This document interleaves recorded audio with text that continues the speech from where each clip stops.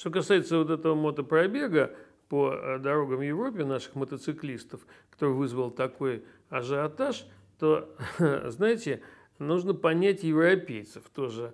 А, не, совсем не, не в том плане, в котором это преподается сейчас в газетах.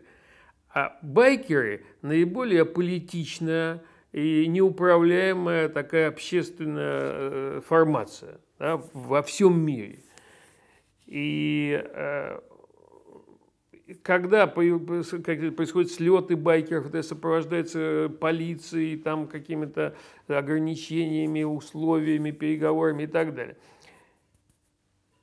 То, что наши байкеры из абсолютно аполитичной э, компании превратились в э, патриотов, людей, которые несут российские государственные флаги, нашу символику, и более того, едут с благородной целью, значит, э, посещение кладбища павших воинов там и так далее, это вообще просто, мне кажется, не понимается, э, значит, э, нашими западными друзьями, которые, по дорогам которых они должны проехать.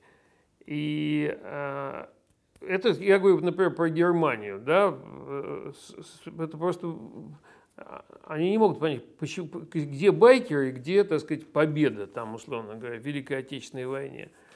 Но это одна сторона дела. Есть другая сторона дела, это Польша, где э, правительство настроено антироссийски.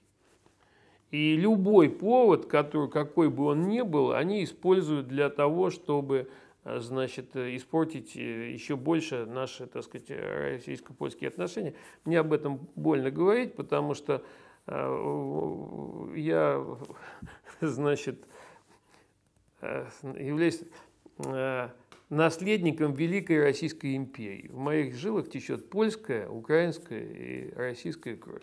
Мне больно, когда эти три, в общем-то, хороших народа ссорятся друг с другом не по делу.